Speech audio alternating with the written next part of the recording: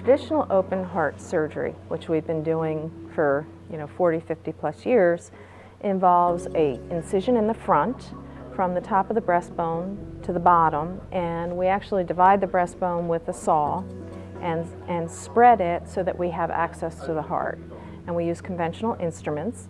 It's uh, the gold standard. It's the way we've always done it. It's, it's relatively safe uh, and um, it gets the job done.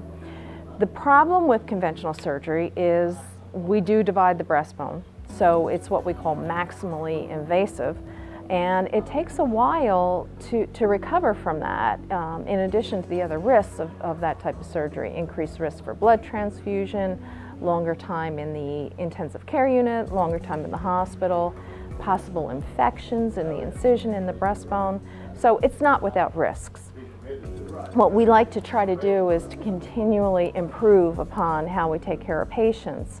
So for me, what that means is trying to do the same safe and effective operation, but in a less invasive uh, fashion. And that has uh, progressed from smaller incisions in the front, dividing only part of the breastbone to small incisions on the side. And what I think is the epitome of minimally invasive surgery is uh, robotically assisted open heart surgery. And that's where we do three or four small incisions on the side, either the right or the left, depending on what operation you need, and do the same operation, but through an incision this big instead of an incision this big. And that has been shown, and I've seen it over and over again in my patients, um, they just do so much better. They get up and moving quicker, they get out of the hospital quicker, and they get back to their life quicker.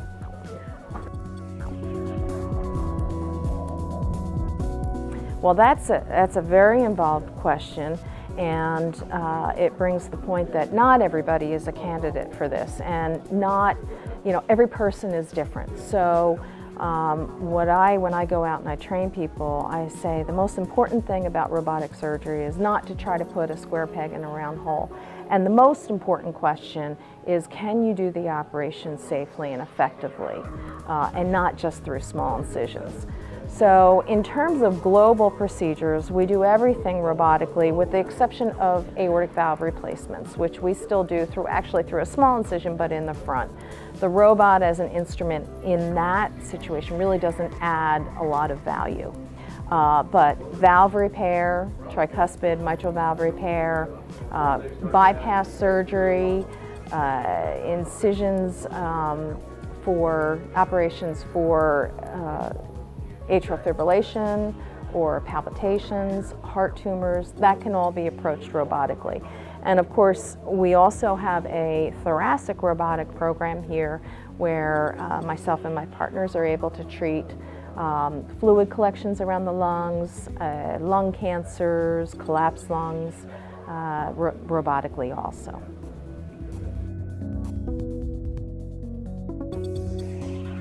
The quality of the surgery is exactly the same and that, that's a real important point because we're not cutting corners to have an operation but through a small incision. It's the same operation.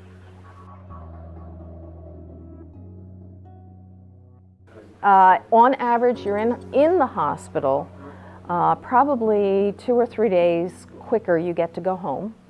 But most importantly, which, which hasn't really been studied um, academically, you get back to your life quicker. But I can tell you from talking to my patients, they go home and they're doing things much faster. A lot of times if you have a full sternotomy, you may go home on the seventh day, but really, you know, the first month or so that you're home, you're really just you know, sort of recovering and you're tired and, and you're not really active. You're getting out and walking because we're telling you you have to walk twice a day, but you're not driving a car, you're not doing any heavy lifting, um, and you just feel like you were run over by a truck. Um, with, with robotic surgery, when you go home, you're able to drive a car immediately. You're able to lift whatever you want to lift. Um, you're able to start fishing, play golf, whatever you, you feel like you're able to do, you are able to do.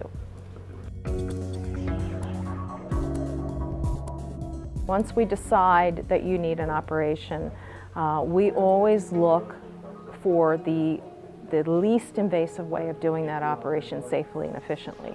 So we're just going to keep trying to grow the program. We're starting to do coronary revascularization and actually in collaboration with our invasive cardiologists, we're, what, what that means is that we do the most important part of the operation, the artery to the front of the heart, bypassing that robotically, and then having our cardiologists put stents in other heart arteries that may be blocked.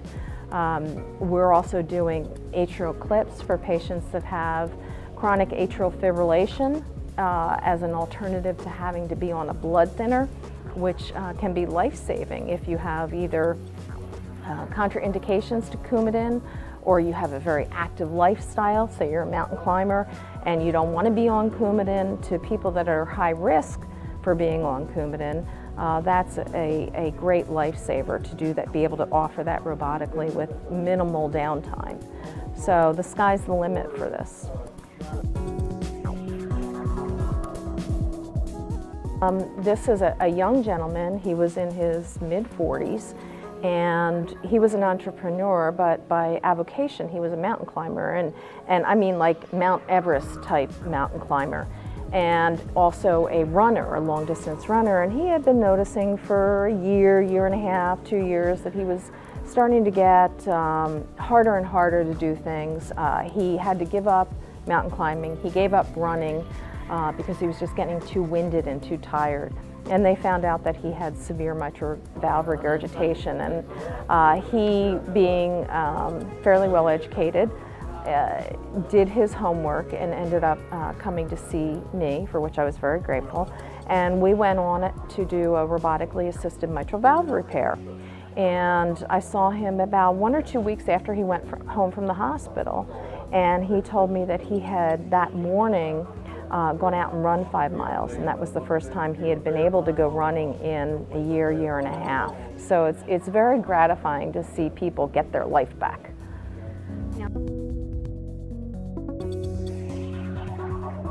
Um, and I, th I think that you know the real test for me in looking at a procedure is how I would treat my own family or myself. And I can tell you right now that if I needed to have my mitral valve repaired, I would have it done robotically.